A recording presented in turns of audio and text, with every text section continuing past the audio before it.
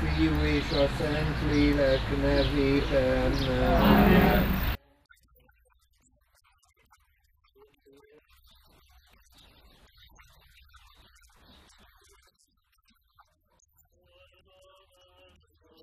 Kérünk, áld meg tűzoltóinkat, s a tűzoltáskor használt eszközeiket, hogy munkájuk gyümölcseként védelmet találjunk minden veszedelemtől, tűztől, víztől, égi háborútól és minden más katasztrófától.